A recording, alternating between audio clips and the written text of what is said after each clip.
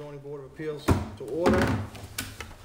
And uh, we'll go ahead and read the legal notice. Tonight, we're hearing uh, case 1602, the Reading Village Comprehensive Permit, a continuation of the public hearing uh, on the Reading Village Comprehensive Permit. So, uh, meeting here in the Great Room at Pleasant Street Center, tonight at 7 PM on the petition of MKM Reading LLC, who seeks a comprehensive permit to develop 72 units of rental housing on approximately 42,342 square feet of residentially zoned land under MGL Chapter 40B, Sections 20 to 23, with waivers from zoning requirements on the property located at 31 to 41 Lincoln Street and 212 Prescott Street in Reading, Massachusetts. Uh, Tonight, the, uh, we have, it's been a couple of months since we've actually held an open hearing. Uh, There's been a a flurry of activity and a lot of review going back and forth. Um, The conduct of the hearing tonight will go something along the lines of a, I'll give a- at least a a brief overview of where we are up until today, what we expect, where we are up until today. Um, We'll give a chance to the applicant to update us on their progress since last time we met was July, July 21st. Uh, We have a peer review consultant here who can address some uh, findings and discussions that they've had with the applicant. Uh, And uh, the applicant will be given an opportunity to discuss and respond to that as necessary and their team. Uh, We'll then turn it over to the board, members of staff who might, bless you, who might have any questions or comments regarding everything up until that point. We will then give the public that are here tonight an opportunity to ask questions. Bless you, Bob. You're allergic to me? Uh, We'll give the public an opportunity to comment and uh, ask questions. Uh, And then we'll have uh, a discussion of where we go from here, where we see the process going from here, and what we expect to do when we con- reconvene, which will likely be sometime in uh, early to mid-November. Uh, So with that, um,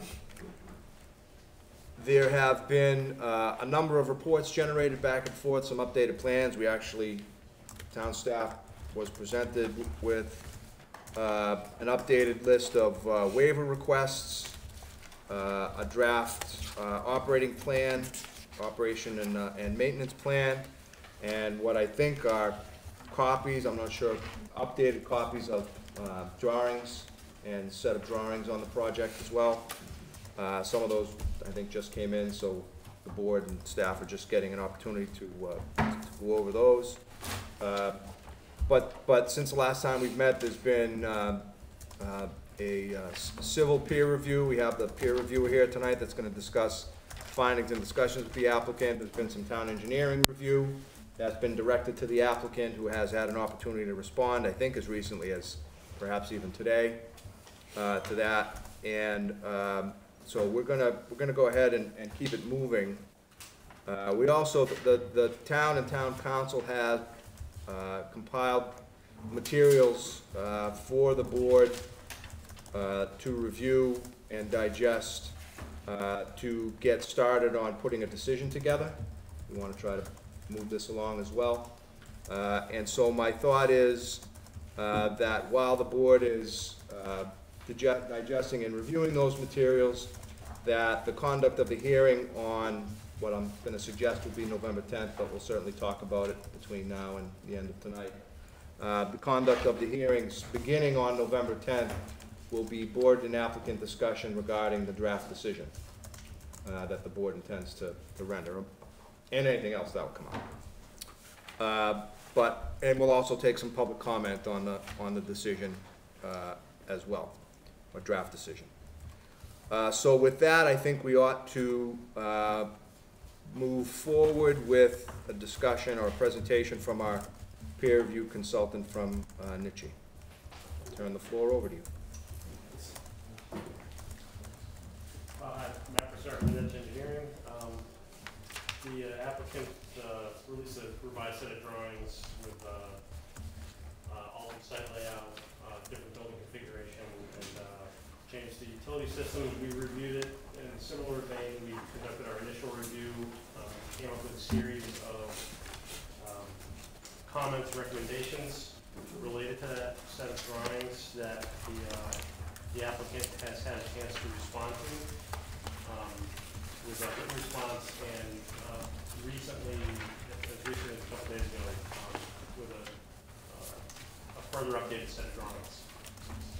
So what I'd like to do, I think, just to keep things kind of running kind of smoothly, and quickly here, what what I'll do is I'll just kind of run through and identify what the original comments we, we had were. Um, I'll note what the responses were in general sense, um, and then, well, we can potentially with the applicant, um, kind of summarize what our follow-up conversations has been over the last day or two. um, Verbal responses and things that to, to, uh, to react to, that, sound great to everybody? Um, so I'm just gonna run through them in order, they're not in any order of uh, significance, uh, just, uh, different categories of our review. Um, uh, noted that the applicant had previously submitted a waiver request for a reduction in the amount of uh, parking that would be required for the project. Um, Originally, they have since have changed the building program slightly, and the number of parking spaces has been adjusted. We noted that they have not submitted uh, an updated waiver list to include, and reflect that in the park um, count. And we noted a minor discrepancy in the, uh, the number of spaces that were noted on the plan. Um, The revised plans included uh, a loading area on Lincoln Street, um, or on the property at the corner of Lincoln Street and Prospect Street. We had noted that, uh, in our opinion, the access to that space appeared limited terms of vehicle movement. Um, The applicant has since uh, changed their uh, means of loading for the project, and they can describe that, I think, in their responses.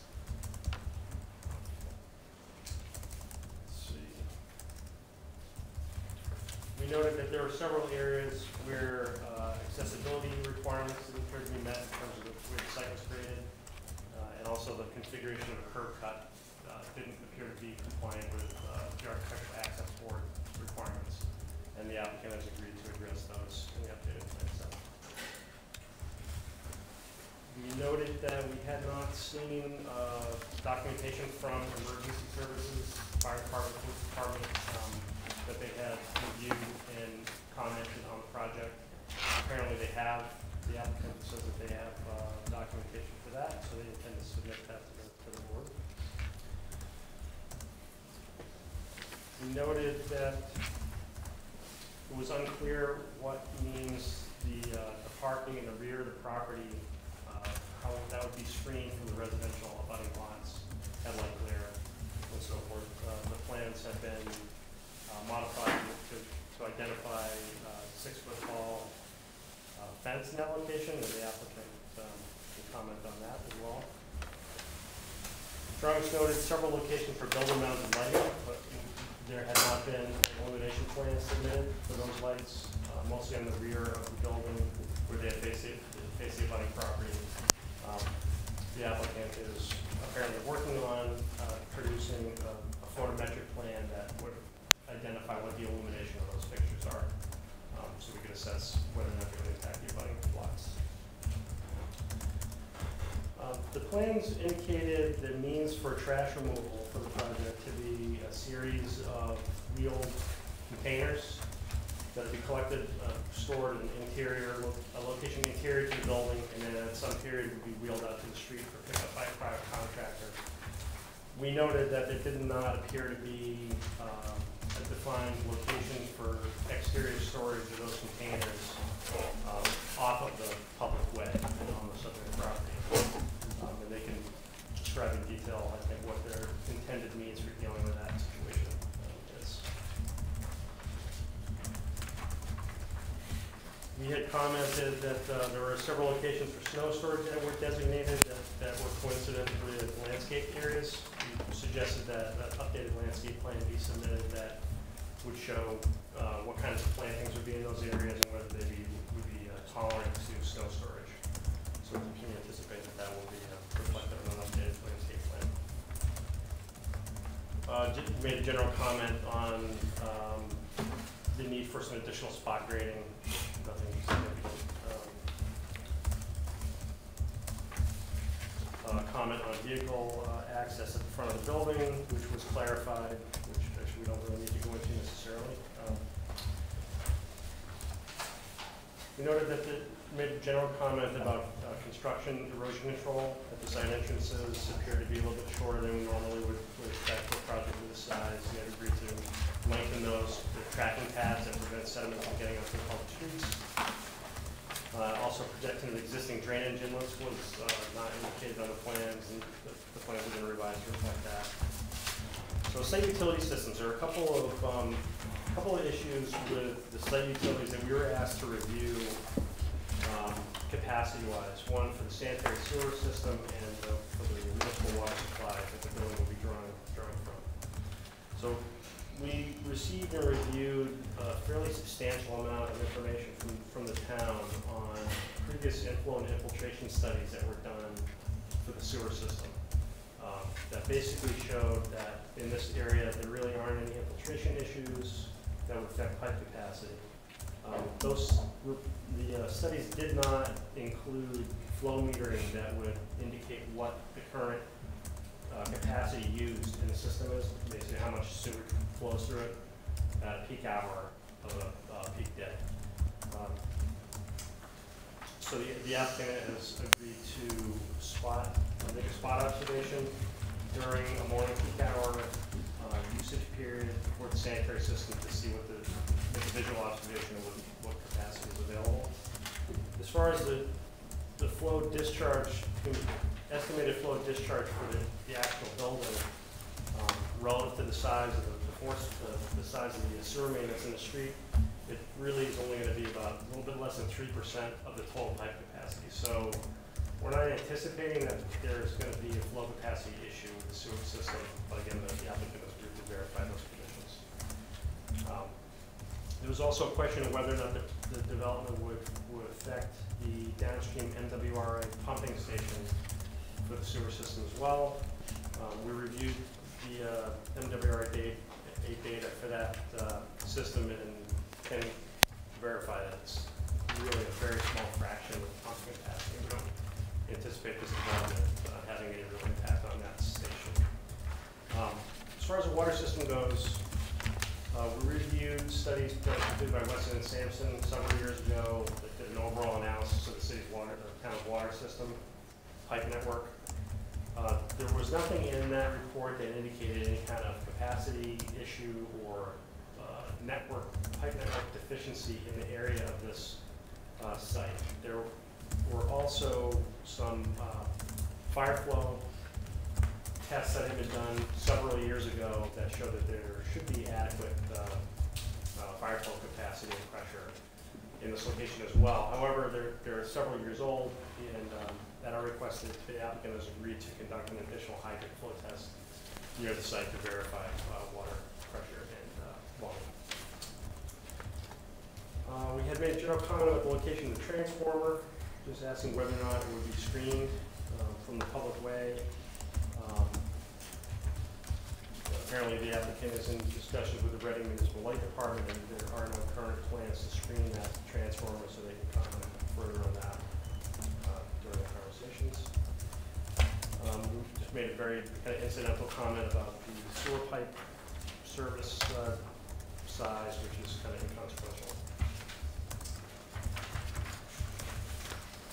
Uh, A general comment about the, the, uh, the underbuilding uh, drainage system, which is kind of related to code compliant, compliance issue related to the plumbing code, which we don't really need to get into here, it's nothing, nothing significant.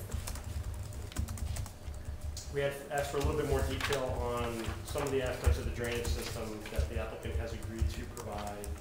Again, uh, fairly routine, nothing uh, problematic in our opinion. Uh, At the time of our review, we had not received the uh, updated drainage calculations for the project. We since have received those, reviewed them, and uh, they seem to be fairly consistent with procedure, you know, standard uh, engineering procedures. We didn't really have any substantive comments on that either.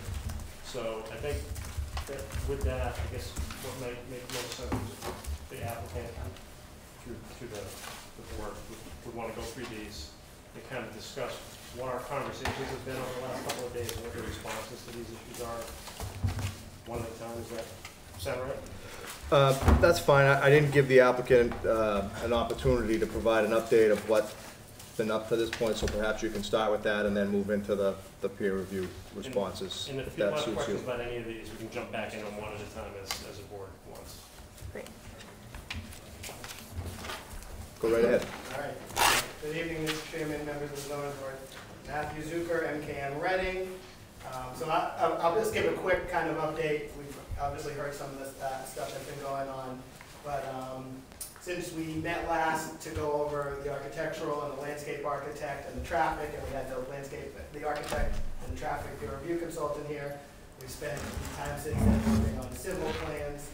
Um, As was noted by Matt, we uh, did a couple of changes the plans a little. We heard a lot about loading areas, and we actually moved the building around and put a loading area on our property on the corner. Um, That was peer reviewed by Matt, who wouldn't recommend that was the location. So we looked at other places to put it, and then we kind of uh, settled in on the best location that it would make the most sense was, you know, the most obvious, which is on the street in front of the building. So on our plan, um, we've identified two, what the town calls service zones.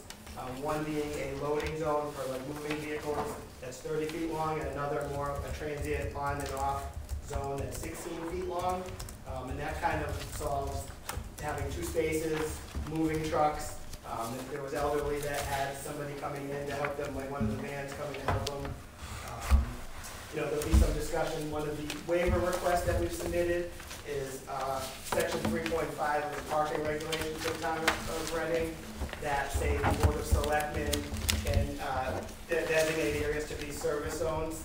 Um, and the board of selectmen is a local board under chapter forty, section twenty.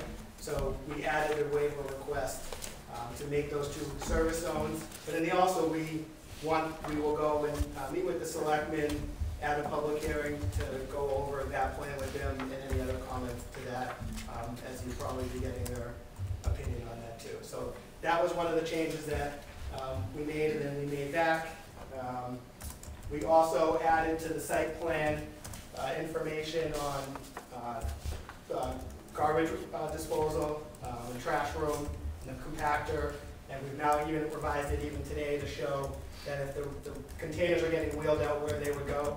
But we've got calls in with private, um, hauling contractors who indicated that if you have a compactor and a container, that part of the contract is they actually come in and get it and remove it. So adding the compactor limits the amount of trash size and the frequency which we would have to do it. Um, so part of the operation and maintenance draft plan, we've included that that's how the uh, garbage will be disposed, disposed of from the trash room. Um, Sticking to the, there's a bunch of other site um, civil stuff that I will let our civil engineer get into to address some of the comments from the town civil peer reviewer. I believe we've addressed most of them. There's a few that's still outstanding that could get addressed now. You know, sometimes it's a condition that it has to be dealt with before uh, building permits are issued. But I think the, uh, some of them we're gonna address sooner, so we just know where we're going with um, capacity. Um, we don't anticipate any issues with it, but we want to address the comments. Um, We also are meeting with Reading Light on Monday to discuss such things as the transformer location, which once we have that, we can see how we're gonna screen it, as well as other things on poles and risers and technical stuff that's beyond my uh, purview. Um, Part of the O and M plan that we have a draft also includes um, the um, snow removal, um, and, you know, where to store it, and then if you can't store it, it has to be disposed of off-site, as well as the um, tenant move-in and move-outs. And what we've tried to do for most of the operations is limit hours of certain things between ten and three PM to avoid rush hour, because we know it gets busy down at the train, and it'd just be better during the middle of the day to have that stuff going on. Usually it's seven to four, you'll find a lot of things, but we thought if we started a little later on that, um, it would have very minimal impact. Um, So on top of the civil, and our architect's not here, but we've looked at some other comments of things the board was looking for. One of them was 3D modeling and some renderings, um, and the elevations on the, um, the rendering, so I'm just gonna open up a few for you that we put together. So this is the existing conditions looking down Prescott Street. There's existing conditions looking down Lincoln and existing, I'll open them back up if I can figure it out. Existing conditions looking across the train to the site. And then we looked at a,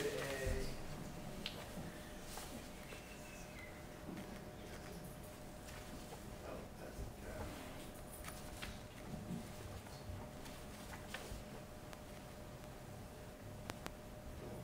Which one is the? Yeah, so this is proposed remodeling looking down Prescott. So, before, and that's proposed. That is looking down Lincoln Street. Again, before, proposed, and then looking down across the- from the train station. That is the before, and that is the proposed, so it gives you a sense of how that building fits. I think it's, it's a very useful visual that you, the board has in their package, but, um, so again, that's looking down Prescott Street, down Lincoln Street, and across the train tracks onto Lincoln Street. Um, the board also asked, and you probably can't see it here, but that is the, under plans, and can zoom but it shows a top of the, top of the highest little section that bumps up to forty-eight point four feet. Um, and that's a couple feet higher than everywhere else, and that's just right along the corner of the building. And these, you know, elevations are kind of looking at the corner, so it shows you both lengths, looking down Prescott Street and looking down Lincoln Street. So, you know, just to see the overall length if you added the two together. Um, that's, you know, looking down, again, from both lengths, from all the different elevations with the heights on them.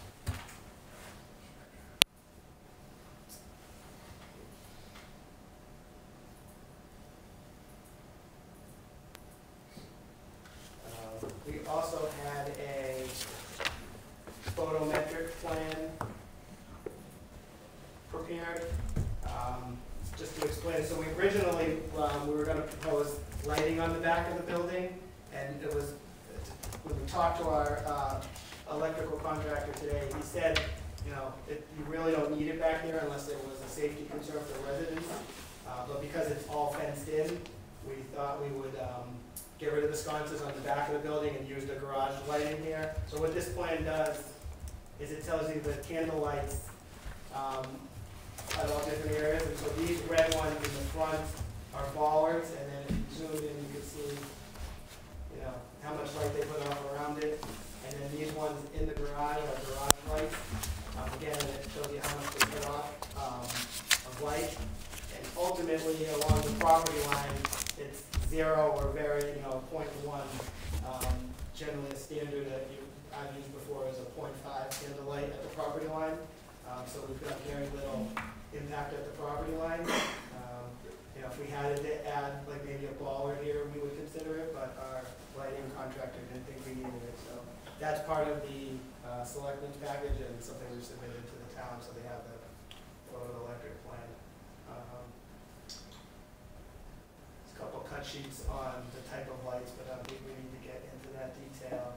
And again, the uh, updated waiver request and the O and M plan, which has a ton of maintenance stuff that kind of details probably more people, but the three important ones are the operations on trash, snow, and tenant diligence. So, um, with that said, I will pass it off to our engineer.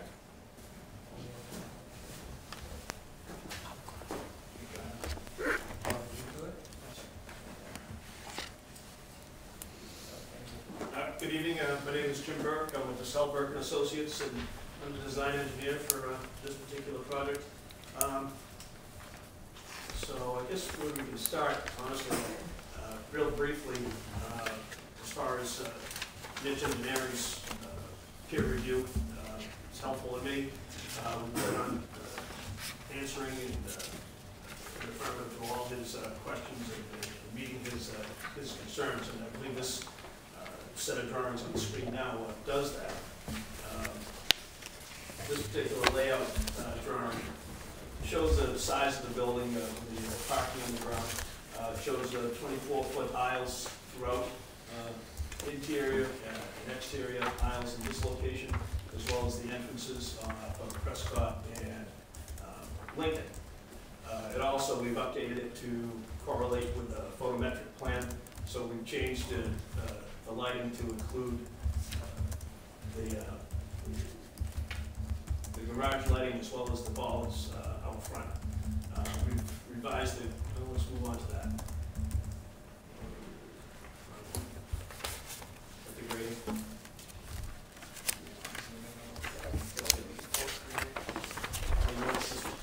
Uh, So, this engineer had a concern in regards to the the spot grading in this location, we revised that to meet uh, ADA standards along with uh, this location, provided additional spot grades throughout uh, the building to make sure that it uh, grades properly to the area drains. Now, the area drains under the garage are connected to the sewer uh, per plumbing code. Uh, And as far as the roof drainage, uh, the stormwater is controlled, uh, collected by, by that are internal to the building mostly. There'll be some external collection points as well uh, to collect the mansard aspects of the, uh, the roof runoff and connected to these Cultec units uh, that are blue. Uh, That's only roof runoff, that does not to have any sort of surface runoff connected to it. This one outside, we collect, uh, we put a couple of catch basins along with uh, some water quality uh, units uh, in the back of uh, the catch basin before it hits this uh, Cultec strip to address water quality units, and we recharge that into the ground as well. These systems are designed to handle the hundred-year storm event, and in addition, it has an overflow in the town system in this location here. There's a small little uh, drainage area here that takes care of this strip, you can see in white here, as well as this five-space parking area uh, to address that as well. Uh, The transformer location is right here, unfortunately, uh, it's not supposed to be green, but uh, we have a ten by ten pad here, and I have a meeting with Peter Price uh, Monday morning to see if uh, that location fits his, his needs and addresses his concerns. Um, We've got the sewer connections off into Lincoln Street for both uh, uh, the area drains, where there's little water separating here, uh, as well as the domestic uh, residential sewage that connects to the the main river location as well. We have fire protection, water, as well as domestic located in this area, the,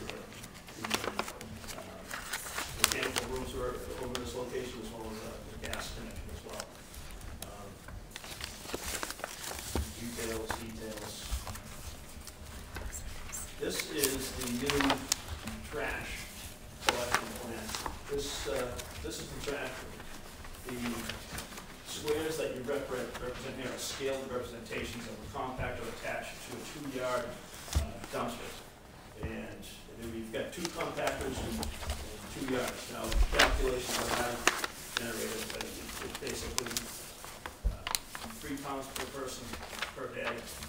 Uh, I estimated hundred and sixty-eight uh, people living there when full generates about three thousand gallons to get it to the, the two yards, uh, uh, conversion. Since about, once it's compacted, compacted the ratio they use, they can use anywhere from, uh, ten to twenty-five. Uh, we used to ten, uh, so we generate about one and a half yards, of compacted trash, a week in this location. So that's one, one of those dumpsters. So we've got some, uh, good redundancy going on here. So we wheel that dumpster that's on wheels, detaches from the compactor, and wheel it up to this location, or, I don't know if they have the smaller trucks where you can just lift it, you know, put it on the front end of it, uh, and, and and drive away with it, even going underneath the, uh, uh, the garage location there. So, uh, I think the, uh, trash, trash really provides a lot of flexibility, not only for trash removal, but also recycling. Uh, let's see. Um, you wanna go with the, uh, the parking? Yeah. Okay. Um, at that, I think I've covered the civil aspects of it, and like I said before, we'll be addressing all the engineering's concerns uh, prior to the next hearing. So we put this sketch together just to show, so we went out and looked at parking on the street. um, And currently, there was about nine, there was, I think it was nine cars that fit there. Um, From here all the way around the corner is currently a curb cut. So part of our plan is we're actually curbing like 115, 120 feet of area that was before not curbed. So when you go to, um, and this is just for reference purposes really, but when you go to our proposed plan, um, the traffic engineer, our traffic engineer, you know, wanted to line of sight, so no parking, um, within so many feet of the entrance. And we still have nine spaces, um, with, you know, keeping away from the entrances, as well as the two loading service zones.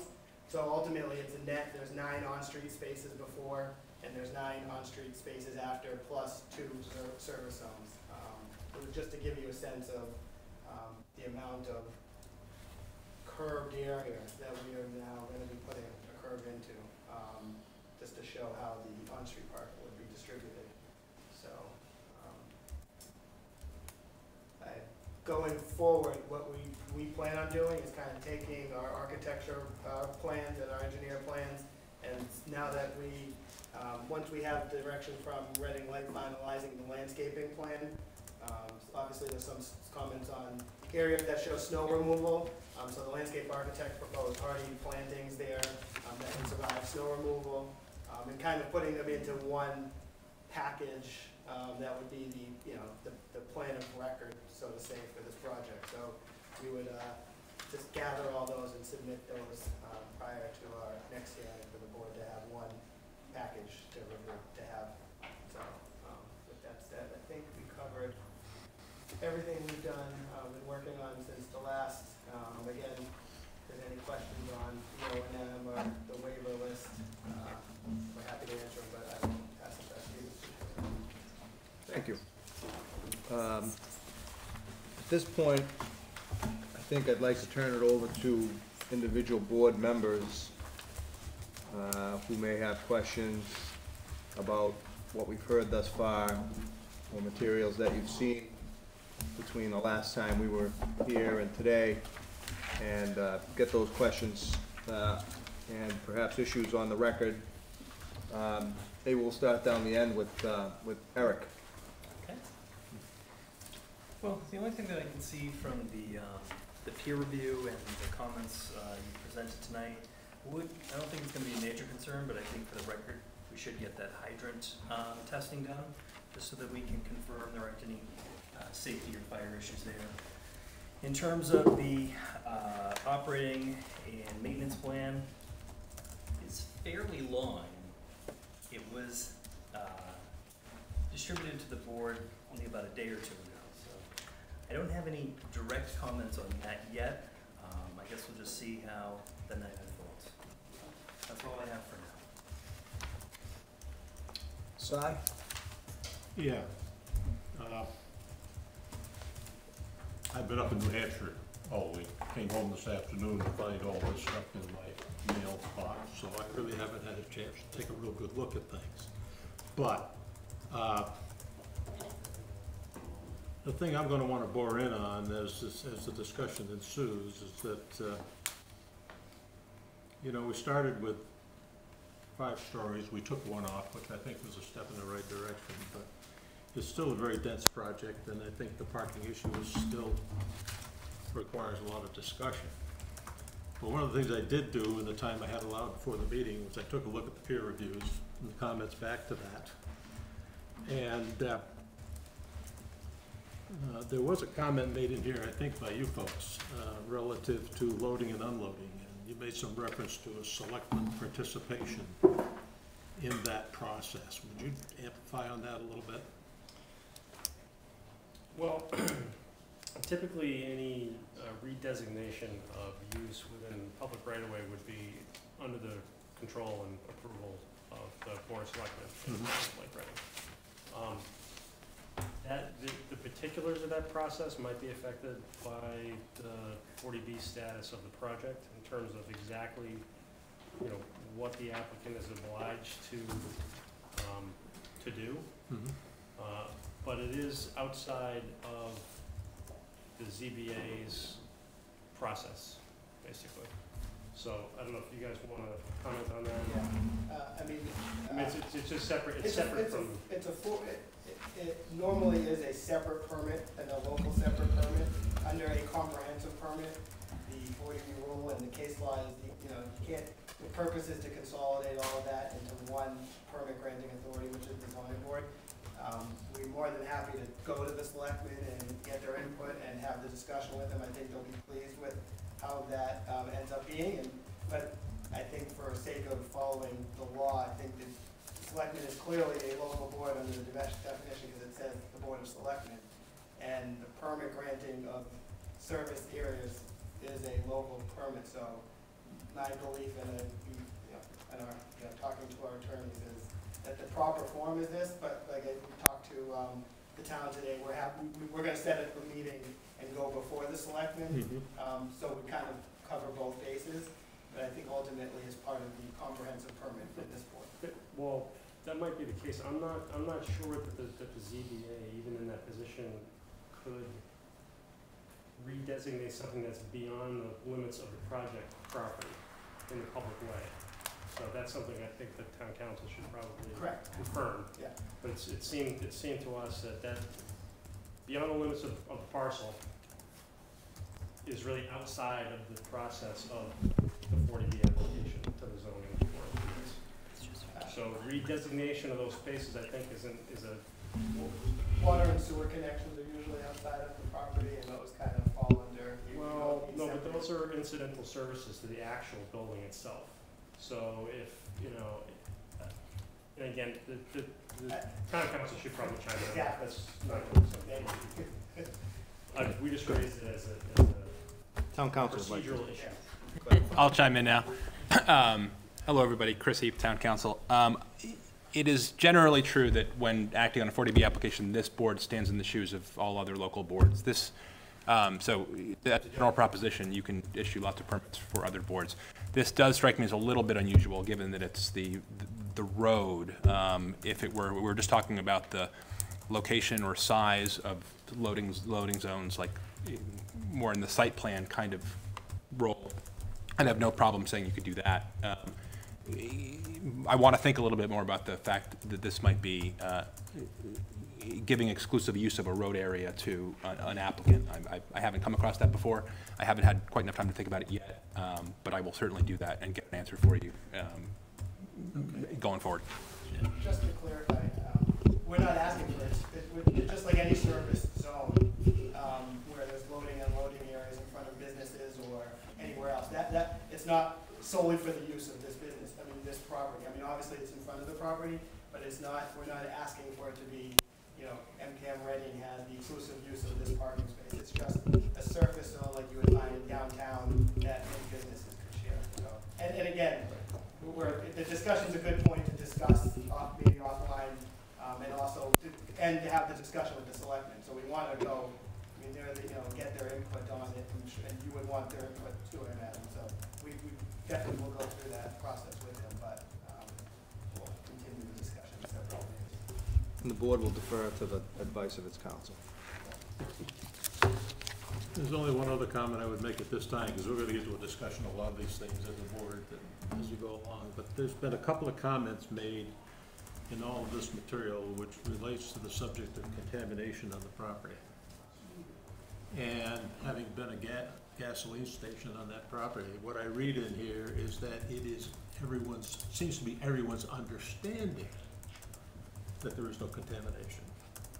Well, I'm really not interested in people's understanding. The issue is, is there or is there not contamination okay? And how do we get, how do we get an answer to that, very specific answer to that question?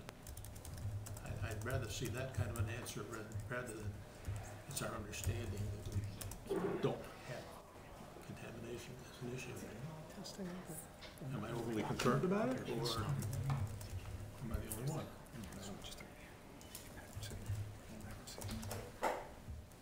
Is that, is that, I didn't know if you want me to reply, or did, Uh, I think, it- I think it's a, it's a good point. Is Yeah. there- Do you So- plan on testing? We've already submitted phase two tests on the property to the town, so there and that's why there's monitoring wells on the site, so there's no, um, content, there's no elevated levels in the groundwater, which is always our, our number, you know, the number one concern. Um, the twelve, two to twelve Prescott Street had minor stuff in the fill from when they built it probably a hundred years ago. So when you actually excavate that, some of that fill goes to a different site, and the, you know, what we deal, in the world we deal in, it's a very, very minor thing, it's the groundwater you look to, but we did full phase one and phase two testing on both properties, knowing the history of it, um, studied the history, did soil testing that was witnessed by the town, and we've submitted all those reports to the town already. And therefore, that's what led to the conclusion that uh, it's understanding, because that, what you Yeah, no, just that- said, that- what that- you just said is not in here. I didn't read it in here. Yeah, and not, Yeah. not, it, it was submitted uh, prior, but we're, you know, we, it's, again, we're, it's a, good- it's a good question that we, we spend the time and money to ob- obviously get, for, for our own interest to get the answer on, Okay. too, so. I don't have any further comment at this point. Thanks, Tom. Nick? Um, I, I do like the new, uh, trash plan with the compactors, uh, that they'll alleviate the concerns of getting the trash out or getting a truck into that underground parking area. Um, you brought up the light study, my only comment with that would be, um, my concern is if you didn't put lights on the back of it, there might be a safety issue, and I would rather get another opinion other than the contractor's opinion, um, about that. Um, And also, I had a question about the uh, water infiltration system. You said it could handle a one in a hundred year flood. Does that mean in the event that it's higher than that, it goes into the overflow? Or, It's, uh, it's, you know, the, the hundred year flood's contained in whatever, I always, I always like an overflow no matter what, how big the system is, to tell you the truth. So it handles the hundred year storm event, contains it, and, uh, overflows over that. okay. That's all I have. Thanks, Nick. Kathy? I don't have a whole lot to add. I found the peer review very helpful on the response. Um, in going, um, through the documentation, one of my requests was gonna be a list of what waivers you're looking for, and my understanding is that was submitted tonight. I haven't had a chance to look at that yet. Um, but one of my big concerns is still the parking issue, as I'm sure it is for many of the residents, um, in the area. And I just wanted to confirm, from what you're saying is, right now, um, there's gonna be seventy-two units, seventy-three parking spaces. Um, and the on-street parking right now is nine spaces, and there's no on-street parking that's added or will be additional after the project is done. So the on-street parking will remain the same. So you have seventy-two units, seventy-three parking spaces, and nine spaces on the street. And it's just, it's just a concern, um, and I know, I don't know there's a whole lot at this point we can do about it, but I do think, um, it's gonna create a lot of traffic in the area, um, and I think it's gonna be difficult for the people that live there. Um, and the only other, um, additional question I had, and it's just a minor, but has there been any thought if there are children that are living in the, um, property to like a bus stop, or, I know there's not, um, or just a place for them to stand to get to and from school? Um, I don't know if there's been any thought to that. And, and we have, I think, I mean, we're clearly open to having a bus stop there, I mean, probably beyond if we think it's Right. needed or not, um, but we will talk with the town, I I don't know if it's the school department or Right. who handles the DPW, but we, we, I mean, we're, you know, obviously, you know, I'm not even sure too how the, it Right, there's currently no- works around the neighborhood. Right, But just, um, and then getting back to the parking, so those nine spaces are current, that's just what is abutting our physical property. right, right. But downtown, there's plenty of spaces. I think we'd be happy as we go through this process, the building permit process, to continue discussions that we've started with the town on how to better utilize downtown parking. Um, we've had some in-depth conversations with town um, officials and with the police department there and DPW, and there may be a better way, there obviously is a better way to do downtown parking with the dual-use nature of um, the train station, you know, the demand there is clearly, we all know, it's, you know, seven, you know, six thirty, seven, gets busy, seven, seven thirty, and then it slows down in the evening. Um, so maybe there's a way to better use the thousand probably spaces that are downtown, and at least hundred and fifty right across the street from our property. Um, but also those, those discussions sometimes take a while. Right. So I think part of the discussions, maybe with the selectmen even, is uh, outside of the loading service areas, is just maybe there is a, something, a procedure or process to better utilize that downtown parking.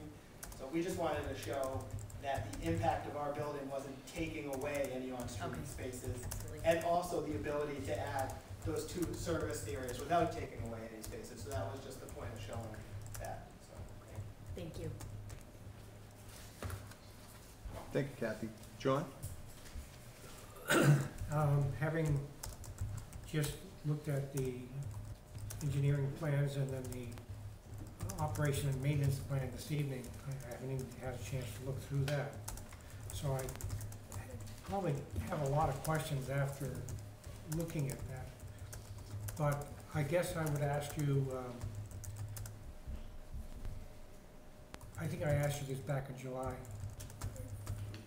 What's the, uh, population that you're renting to? And I think you said they would be relatively, uh, young adults. Um, Could be singles, uh, could be couples, and you have, um, three, three bedroom? Or two, We actually have more than that right now, but we're, it shows nine on there, but I think our interpretation, which I think we'll end up with a different mix of threes, which we're trying to, believe we'd like to get rid of the three bedrooms, but, um, I think we're, tr- we'll try to limit that to seven if we can. And so that final unit mix number will never go, seventy-two is proposed, and it, you know, it won't ever be more than that, but I think the mix may change. Um, and, then, you know, the, the final unit breakdown, um, we'd be very happy with less three-bedroom units. um, two bedroom units? Right now, right now, we're predominantly one bedroom, so we're, um, sixty one bedrooms, three two bedrooms, and nine three bedrooms. But I think we'll end up with five two bedrooms and seven three bedrooms, if my numbers are right. Um, and that even may get tweaked further as we actually, um, finalize or actually go through, you know, it, it's kind of a fluid thing, um, but, you know, it will never be more than the ninety-two, uh, or the number, you know, the number of bedrooms, we'll set a maximum number of bedrooms too. And that, that's reflective of uh, your um, calculation of hundred and sixty-eight individuals living in the fully uh, rented uh, building or complex. Yeah, that, yeah, there's a formula used in, um, sorry. Okay. Um, When all this came forward, I, I think, uh, when you came back in July and indicated that you probably were going to reduce, uh, the number of floors from five to four, this was definitely a, a positive, at least for the neighborhood and for the town. Um, but the number of units really haven't changed substantially. Um, so, looking at the size of the property, uh, in my mind, there are five, there are a lot of technical stuff. I can't, in my mind, like, uh, flow, sewage, water pressure, all of that stuff, uh, the lighting aspects of it, I'm, the rooms not impacting the neighbors, but sufficient to, uh, be on the safe side. Um, all of that stuff I'm putting aside. But in my mind, there's five major areas that controls um, the number of units and how it's going to function on that site. One definitely is uh, parking. And we're talking about um, the seventy-two units that you have uh, proposed. Uh, and we know that some of those, um, some or maybe a fair number of those are going to be based upon, uh, people who are renting, living in the units. Um, On top of that, um, is the visitors aspect of it. Now, visitors are only gonna be there uh, in the evening when the, um, the population diminishes coming from the train and the parking is available across the street, that's not a big deal. Um, it comes, it comes at critical times at peak traffic times. And it may come at particular times, calendar portions of the year, Thanksgiving, uh, Christmas, um, all of those events that are happening. So the visitor aspect to me is as major as the parking number that we're looking at, basically what you've defined as one per unit. So that's one of the waivers, and when I looked at the waivers this evening, I can see that, uh, we have a lot of waivers to go through. So that's number one. Uh, number two, um, is the loading zones, which I brought up in July. Um, you have seventy-two rental units there. Um, from my experience over the last ten years or so, in working with a seventy-six unit condominium complex, uh, that I more or less oversee, um,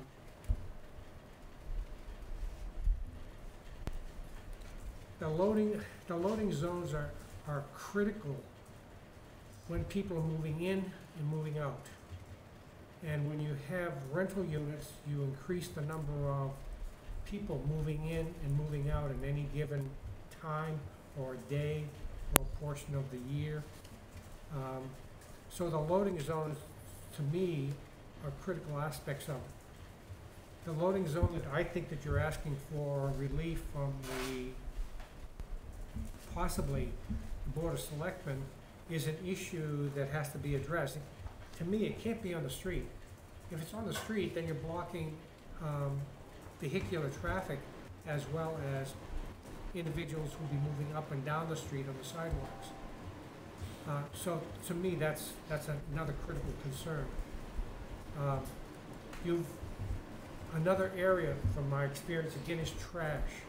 I'm, I'm super happy that you said, geez, we're gonna put in a trash compactor. My one question to you on the trash compactor, are we separating the, uh, recycled from the regular trash? So that, we have, so that's two trash compactors, or? There are two. Yeah, there'll be two. Okay, I'm sure that you've addressed it in here. I haven't even been able, okay. Um, Another area is the elevators. We're still talking about one elevator? We got two elevators now? Okay. That's a plus. Um, And the last one is uh, snow removal, or snow being in New England. Um, if we had a winter like last winter, you'd be golden. If we had a winter like two winters ago, there might be some problems. So your site has, I believe, has to, has to adapt to the area of occupied by the building versus the other areas to accommodate these other issues. And not having time to digest all of this, I don't, I can't ask you the questions that I want because it would not be fair to take up enough time until I've read this. So, I mean, I'm gonna just stop right there at this point and say, I'll park it for now and pick it up later. Thanks, John. Robert? Okay, uh, yeah, uh, like, like John, we, we just received a lot of this stuff tonight, and uh, haven't had a lot, uh, chance to review it at all. But, uh, just listening to the discussion so far, a couple questions I had popped up. In regards to the sewer and, uh, peer review on that, uh, it's noted that, uh, what, the sewer in front where they're connecting, you said there's a twelve inch, uh, sewer main, approximately a half a percent, I think it was, slope, that, good, good capacity. Did we go downstream at all? And look, uh, obviously, if it's a half a percent here, but if it flattens out downstream, uh, there could be a surcharge effect from that. How far downstream did we go, and did we check with the, did you, have you, have you reviewed it with the town engineer? He, he, I would suspect he might have better knowledge of the overall system and where there might be problems, and if in fact that they have experienced problems. Uh, Is that sewer actually go down Lincoln and go, it, it, it's obviously parallel on the railroad tracks, and then it has to go under the tracks, I believe, does it It not? goes, it turns into an eighteen, Yeah. uh, right, it goes under the tracks and it Yeah. turns into an eighteen inch pipe. Um, and then it goes, I'm trying to remember, the- is it? So, so you look It, it, downstream. it increases in size very soon as it passes. Yeah. There, there are a couple of twelve-inch lines shortly downstream of the prop, where the property is that combine, like Jim just said, that combine an eighteen inches, And then go into an which is, which is a pretty sizable That, that's um, good size, yeah. maybe. Those continue down as it, as it gets closer and closer to the pump station. Mhm. Um, it, you know, progresses from an eighteen to a 24 inch. I think the pump station connection might be a thirty-inch Yeah. line. Yeah. Um, so, the material that we received from the town engineer's office was really not a study that was related to system capacity. It was really, it was an inflow and infiltration study, Mhm. um, which was, which was valuable information for us to be able to look at. Um, but like, like I was explaining before, one of the pieces of information that doesn't appear to exist at the moment is a capacity study of that line. So typically, you know, if you're examining impact for a, a private project like this, connecting into the municipal system, generally you wouldn't follow the potential impact of that all the way down To through the entire system. You really would look at what the, what's the impact on the current conditions in the main adjacent to the property. So if, when they do the spot, um, check on the capacity, which are, they're gonna do at a morning peak hour during, Okay, so during the they are work, gonna work do week. this, yes, It's gonna be a visual observation that they've agreed to do. okay. Um, it should be fairly apparent what the capacity conditions are. So for example, if they did that check and found that the, the line was, was nearly flowing full, okay? Right, Then it might be warranted to do additional review of system pa- system capacity downstream Okay. to see if there would be any other impacts. okay. Um, But the- Just by rule of thumb review of the tributary area to that Mhm. section, we'd be fairly surprised if there was a system capacity issue in that twelve inch line, considering the area that it's picking up. Right. No, no, I realize you And that- wouldn't go that far typically downstream, but that, that's what my concern is, is the twelve inch in, in front. Uh, Yeah, Right. that's fine, if it's isolated at a half a percent slope, might work fine. But what is the Well, s- capacity, well, so what there's- is it flowing So now? there's another, there's Yeah. another factor that we looked at as Sure. well, okay? Yeah. That's what percentage of the pipe capacity is represented by the flow being discharged from the building, Mhm. okay? If it was a project where you were tying into a twelve inch line and the estimated sewer discharge from the project was gonna be fifty percent of that pipe's capacity, Right, there'd be a much higher chance that that capacity impact would telegraph down through the system. Um, even using a fairly high peaking factor for the estimated flow that, um, is represented by the project, Mhm. the discharge at peak hour is just under three percent of that twelve inch line, okay? So, again, unless that line is already at capacity or near it, there's really not too much of an argument to be made about a negative impact from the Mhm. project connecting into it.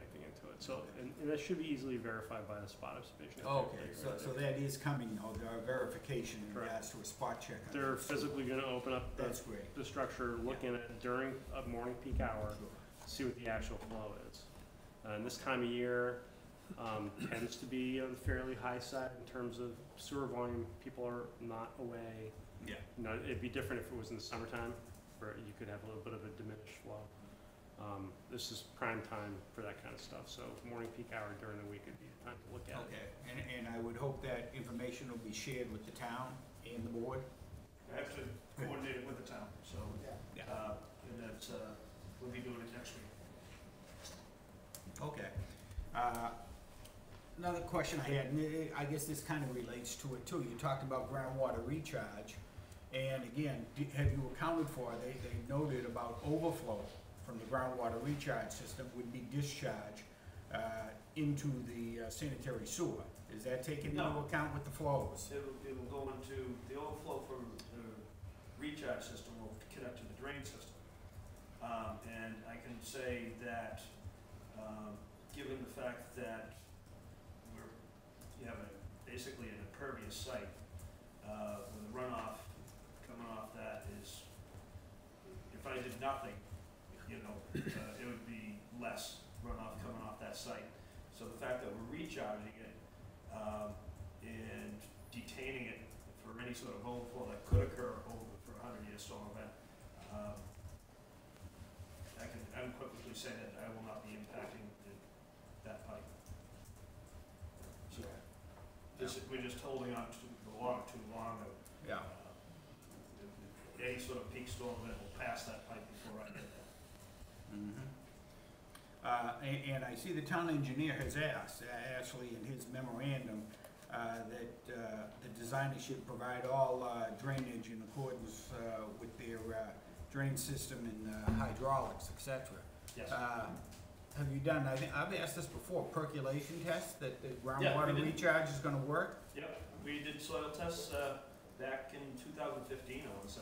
Uh, Okay. It's, yeah, and the town witnessed it. So the soils out there are great.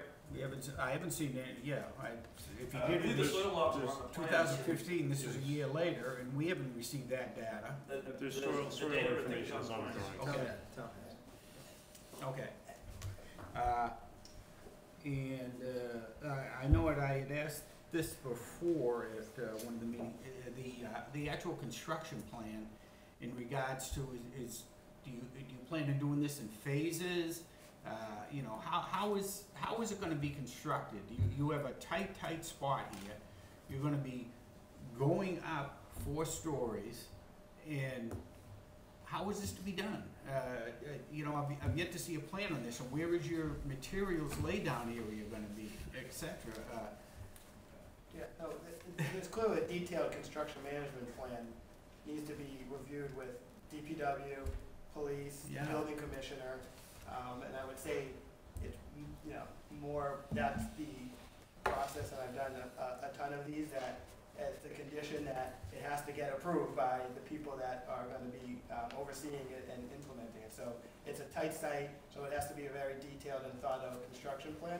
So we know we have to do it. I think the appropriate um, people to review it are the experts, just like the town engineer we've been working with on all these issues. Um, And everything, final plans have to get approved by him, just like the fire department, final plans, um, and he's requested as soon as possible to get the seventy percent plans, have to be reviewed by, and approved by the fire department.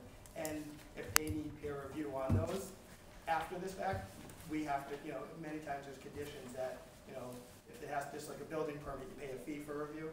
If there's additional review caused, um, there's usually a, a separate outside the scope of the zoning, but a condition of a decision, um, a peer review on those things. So there's a lot of very technical details that usually are conditioned out that the appropriate town departments handle post-decision that we have to comply with. You know, state law, we have to comply with. Um, there's plumbing code issues, there's, um, Well, I best understand management practice, so we, you know, we will comply with all those. yeah. And yeah. buil- buil- obviously, yeah, building, building, uh, um, code issues that, fire code issues, sprinkler code, you know. So, um, we fully intend to and have to comply with all those state codes, um, and deal with the town, uh, employee departments to ensure that they are met, so. Okay, thank you. Uh, And last thing I, I saw in there, just quickly again, looking at the plans, and I thought I saw the town engineer noted too in his memo, I, I, again, briefly went through that, uh, is he had concerns about the snow storage. And it looks, it looks to me, all the snow storage is on top of your landscaped areas. Uh, I see it between on, uh, uh, kind of coming down, uh, Prescott Street. It's from the back of the sidewalk up to the face of the building. And yet the face of the building there is, a lot of it's glass, a lot of it is windows there too. You're gonna be packing snow up against the building. Uh, it, it just doesn't, uh, seem like you have, have enough there, enough room for your snow storage. I'll-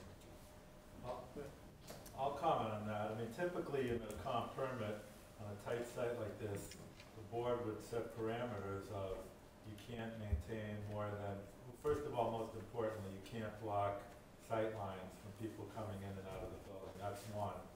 And so that, you would, you would condition it to say you can't have more, and I would talk to your traffic peer review consultant. I wanna say it's like thirty inches of snow.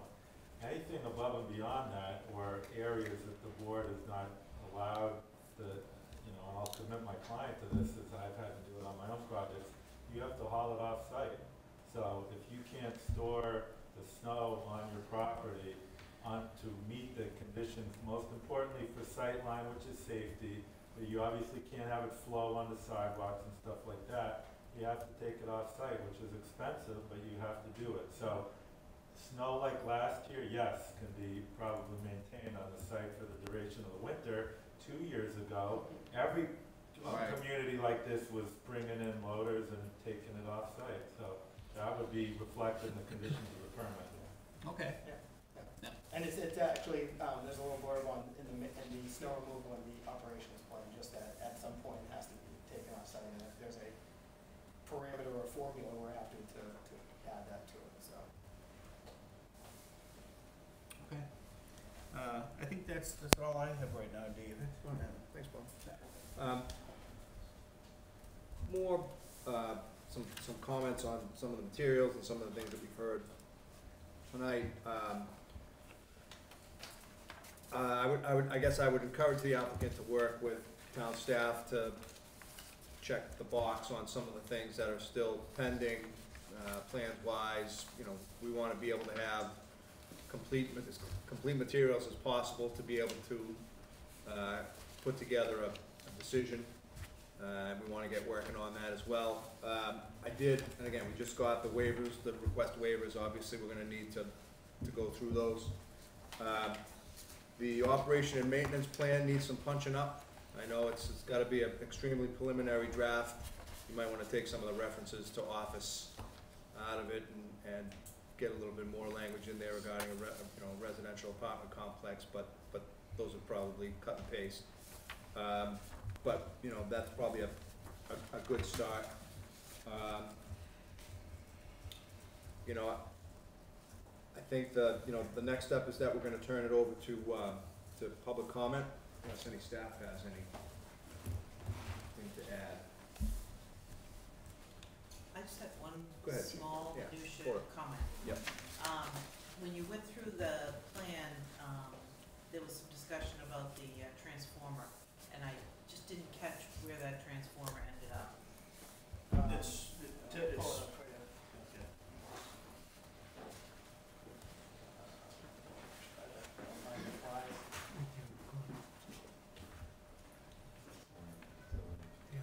There it is. Right there. It's on this corner here, um, so. Okay, so there's, I think the other plan had a T on it, that's what, Oh, I yeah, this didn't is, this was just the street parking plan, I could go back up to, the previous iteration, it was, it was marked with a T that it was the this one transformer. is marked with, on the, uh, And I thought you had said you were gonna be looking at other locations with Well, we'll see. RMLD? I, I have a meeting at nine o'clock on Monday with Pete Price, so, um, we'll see what, uh, what his, uh, his thoughts are, and we'll go from there. And the issue there is, it's not big enough for the pad, is that correct? Say that again? The current location is that it's not big, won't allow for a big enough pad, That's ten by ten right there. So then it's that's- ten by we, ten. we changed it, yeah, that was Okay. a comment that was, we Okay. had received from, I can't remember, if it was the town engineer or from. Yeah. I think it was from RMLD. Ready. It was from Yeah. the DRT. Yeah, that Yeah. we, that is, so that was Okay, changed. to so 10 by as 10. drawn on this plan, that's where it would go, and it would allow for a ten by ten pad. Yeah, the Reading Light just had some com, uh, the town engineer just had some comments on the location and Reading Light also, so, until, you know, it, it, we'll have that discussion with them and, um, kind of finalize that as well as other things on, like, you know, service and, and risers and. We'd like to poles. screen it, but we wanna make sure we know what, what their access point's gonna be, so that we Right. do it in a way that will inhibit their work. And the fact that the handicap ramp is right there, um, seems like that's a busy little corner. But I guess there probably isn't another location for it. So, ha- we'll have that discussion. Okay. No, you know, they may have a suggestion, we may have a suggestion, but we put, at least put it somewhere that Okay. fit for now. Next time you put it on the plan, can you put a T? Yeah, I thought it Sure. said proposed, uh, Thank you, that's it for me. Uh, Go ahead, Chris. I just had one more. I wasn't clear from the presentation. The garbage trucks can load up in the garage, or do they need to haul the Potentially, dump? it depends on the, you know, the dumpster itself is a two-yard dumpster, and it's, uh, uh, ten by three by, I wanna say three and a half. Um, and it has those, those forklift lifting points, and and they have the low-rise, uh, trucks. It depends on the, the, it's gonna depend on the, Yeah. the contractor and what he's capable of doing. Uh, but the, the, the compactor that we spec'd out, that I, that I looked at in size, is fairly typical in size, so, uh, it has wheels, so we'll, s- it would come down to, So it may need to go out to the street, but it may not.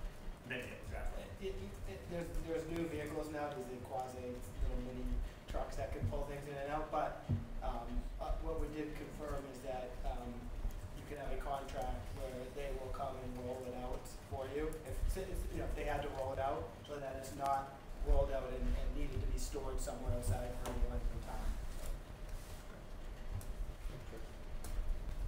All right, so, uh, the next part of the program is that we'll turn it over to public comment, set a little, some parameters for that. If you'd like to speak, wait to be acknowledged by the chair. Um, state your name and address, uh, direct your commentary, uh, and your questions to, to the board, if you will. And, uh, please keep all commentary, uh, civil, or as civil as possible. And I will try to get answers to any questions that you might have. Uh, anybody like to speak? Yes, ma'am. Um, My name is Lois Bell, thirty-five Washington Street, and I would just request that when there's another meeting, that we are notified earlier. I, I didn't know about this meeting. I canceled another commitment tonight, and then I went back on my emails, and one was sent out at four twenty-nine this afternoon. So the neighbors started calling each other, and nobody knew about the meeting. So I would just ask, a lot of us don't get the Chronicle or the Advocate, so I would just ask in the future if you could know a little bit ahead of time so we'd know about it. And my other question, um, comment would be for you in that all of the meetings I have come to, it seems that you've just sent your info to the board just shortly before their meeting, so they don't really have time to digest everything. So if you could, I know you're busy, but if you could possibly get your info to the board on a more timely manner. And then my other question is, um, it was noticed that there's an adjusted number of parking spaces. What is that adjusted number, please? Seventy-three. Oh, so it really hasn't been adjusted, because it was seventy-three last meeting also.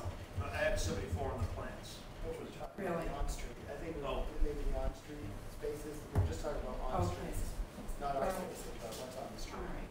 It was an adjustment of a typo Typo. on the plans. Pardon me? Oh. It it was not an adjustment of the actual number, it was Oh. an adjustment of the typo. All right, sorry. okay, I understand that. Well, I agree with what has already been said, that, um, seventy-two units, seventy-three parking places, definitely not enough.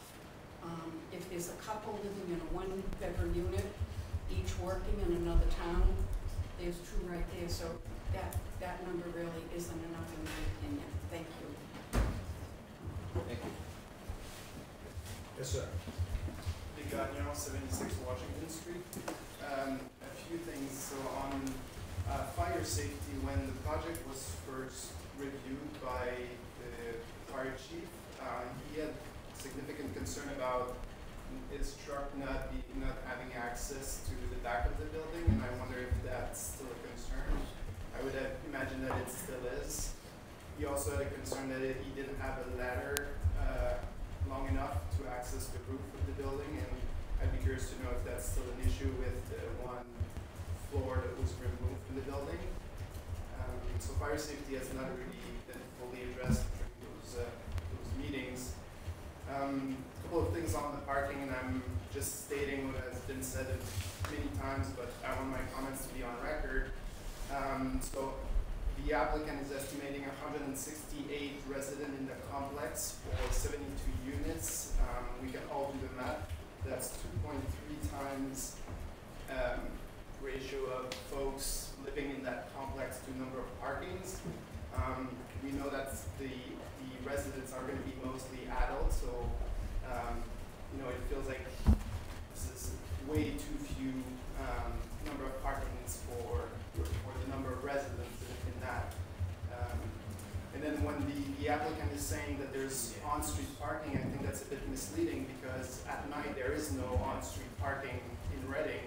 Um, there's only on-street parking during the day. I think as a community, we decided that Reading is not Cambridge, that we don't necessarily want to have cars on street parked everywhere at night at any time of the day. So something to consider also, I think. Um, on the loading zones, I thought that the civil engineer had mentioned that there was a requirement for four it seems like, unless I'm missing something, that right now the discussion is only around two loading zones, so aren't there two loading, zones missing? Um, and then just one final comment on the aesthetic. When I saw the rendering at the beginning of the meeting, I will say that personally I find this building absolutely um, atrocious. It doesn't fit with the rest of the neighborhood. It sticks out like a sore thumb. It's an ugly brown building. Um, so I don't see how this really improves the, the site, and the massing is way too too uh, too high compared to what's on, on there right now. I, I think the rendering that the applicant showed shows this perfectly. It's just it sticks out like a sore thumb. That's it. Thank you. Yes, Mr. Blodgett. Edward Blodgett, 99 Preston Street. Just like to point up a couple of things. There's figures and facts about different things like capacity. I will point out that I've lived at my address, which is about 30 to 40 feet uphill um, in elevation. And three times in the last 34 years, we've had, we've exceeded the sewer capacity. And I don't think they've upgraded the system at all since then. Uh, it happens when you storm water that infiltrate, uh, the, uh, the sewage system, and basically the capacity is just way off because it is flooding. Uh, those particular dates, I believe, were 1984, uh, uh, 1996 or 97, and 2003 or 4. Um, it was enough to blow the manhole drain on my backyard off, a foot and a half off. And so it was going further up the street than I am in terms of capacity. Uh, so I think this is a big issue, um, what that system. Um, I also still have a very big concern that high mansard roof, which has areas which tip, and they tip toward the sidewalk. The building is not set far back enough. If you've got 30 inches of snow on the ground, you're going to have nothing but a bank, and the snow's just going to hit it, and to be pushed toward the sidewalk. Um, I think it's a very big safety issue. The height of that building, closeness to the sidewalk. I'm not saying anything about cars right now, but I will say something about cars. When uh, the house across the street was sold this last summer, one van truck came in. And from Pratt Street up, the traffic was just totally confusing. And that's not a high area except for straight line traffic. People had to come out into the other lane. People couldn't get out Prescott Street in either direction from the south or the north. And as a result, it was backed up to the center ave. That's one truck. And uh, I just think that the loading ramps, uh, I think they're supposed to have one for every 22 units. Um, that's three or four from what I see. And I would encourage the board to very strongly at the waivers and not grant them. Any other comment from members of the public? Yes, ma'am. Christy Moore, seventy-five Green Street. I walk to the train, I still have to have my car to go to Y, to go to the grocery store, to go to the train when it's icy on the sidewalks. I can tell you that the train lot fills up for the seven thirty train every morning and spill, and has already spilled over onto the, uh, surrounding streets by the time the seven thirty train leaves, seven thirty in Um, I don't know where those thousand empty street, uh, empty slots are in town, but they're not at the station. Yes, sir. Peter McHugh, 19 Sanborn Street. I worked at the Atlantic Food Mart, and they used to have a sump pump once 24/7. There's a stream going from the- where the Atlantic used to be, and it goes all the way down to their proposed building. There's a stream underneath, uh, cassettes moving in storage. Do they know about that?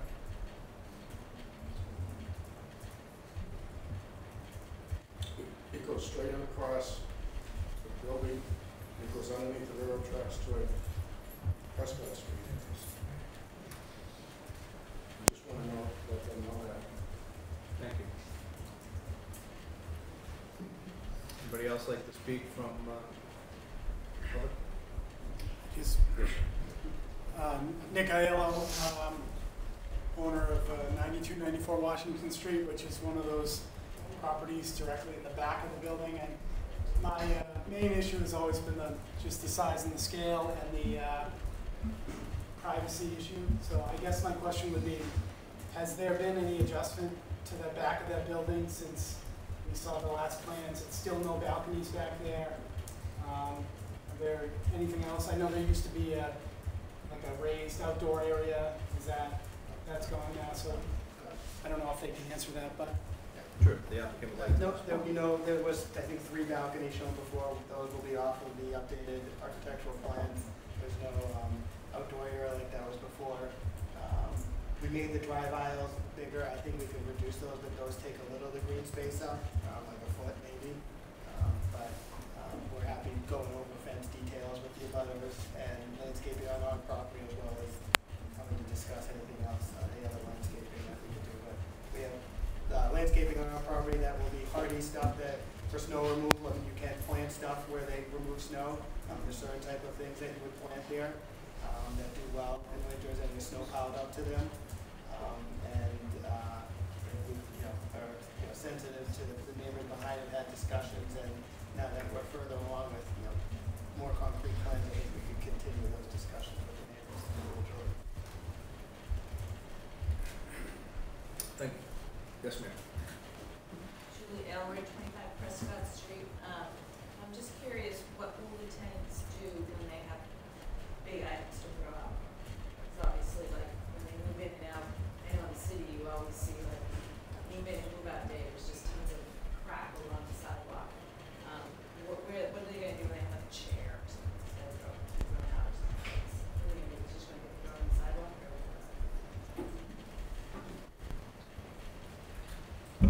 the details of a tenant, uh, you know, plan, I mean, generally, if it doesn't fit in the trash room, you're responsible to throw it out, I mean, you can't vandalize Yeah, it but- and leave it outside, I mean, Yeah, it, put it, it outside. plenty of buildings, eh, you know, have the same rules and regulations in, in town even on how to deal with these, um, sure, even for the game and, um, you know, there's rules you put in place, and if people don't follow, them, they, you know, pay the penalty.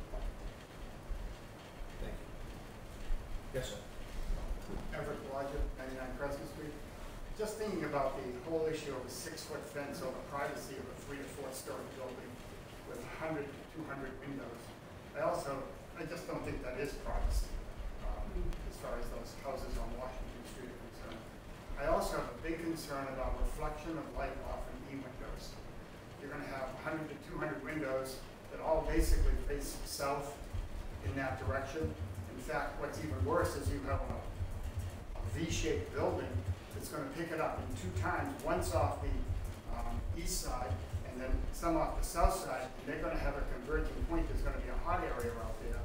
Um, I don't know what's gonna fall into those properties or not, that's just cooking, that's just cooking those people. Um, it's just, it's just totally invasive, it's too large a building to have all that space and height and all, all reflecting into an area. Um, And in fact, it's just too huge a building, too, too much mass, and for much. Yes, sir. Paul Stoddard, and I live at 96 Washington Street. Excuse me. I'm one of the abutters here. I'm concerned with the fence area too. I've got two small children. What is the protection a fence will do if a car accidentally accelerates and goes through the fence and goes to the backyard? Is there gonna be a brick wall there so they can protect the, the abutters here with this fence here? Does, does the applicant care to respond to that? Yeah, actually, did did we have curbing on that? Yeah, there, there's curbing around there too, as well as a fence. Um, Thank you. Any further comment? Yes, sir. Um, Joe Barletta, One Fulton Street. I'm, I'm curious about the ramp and the parking configuration along that front part, along Lincoln Street. Is that ramp on your property or on the sidewalk? And is it right next to the transformer, is that right near, because right now, there's parking spaces there, and they're actually overnight parking spots. There's two of them, from what I understand, but you know, will that be eventually a sidewalk, or will the sidewalk just end where their property line is? Because there's something that should be done there to, this is the opportunity to do it when you have such a massive project Concern for that whole side of that. Anybody else? Hearing none, we'll close the public portion of the hearing. Uh, So, just to give, um, give folks an idea of where we go from here, the, uh, the timeline is as follows. The, by agreement of- the applicant, the board, the town, the hearing in this matter must now close by December fifteenth this year. And then the board has uh, 40 days from December 15th to finalize and render its written decision on the application. Uh, The board has some homework between now and the next meeting, we ought to talk about when that's going to be, uh, to review materials with a view towards having a draft decision to discuss as the uh, uh, main point uh, of business for the opening of the next hearing on, let's talk about that. Looks like we have November tenth open right now. Uh, does that work for the applicant? It's not quite a month away, uh, but, but given that there's some tight timelines coming up in November with the holidays and such, and town meeting actually too. Um, that's a, that's an open date that we have. Does that, does that work for the applicant? That, that time, the sooner, the s- the sooner the better, we think. The majority of the heavy lifting has been done on our end, there's some cleanup stuff and some organization stuff that, um, we'll be able to get in plenty of time. Okay. Uh, We are uh, continued to uh, Thursday, November 10th at 7 o'clock, right here. Uh, Again, the board should be prepared uh, to discuss and comment on points to be raised in a decision, draft decision, so that we can begin to uh, move the process forward in that vein. We'll obviously uh, look to some opinions of town counsel with regard to some open issues and some deliverables that still remain from the applicant between now and then. Anything else, Jean, Julie? We need to think Um, discuss. the only thing that I would just echo the ongoing theme of the sooner you can get us the materials, the better. Um, we, we know lots of people from the public look at the website and, um, just appreciate your cooperation on getting us that material, especially the landscaping plan, because obviously for the abutters, that's gonna be a- an important piece of information, so as soon as we get them, uh, we commit to the public that we way, but uh, I know everybody's working hard in that direction, but would appreciate it soon, as soon as possible. Thanks, Pete. All right, uh, we're continuing until November tenth. Thank you, everybody. Thank you. Hearing's closed.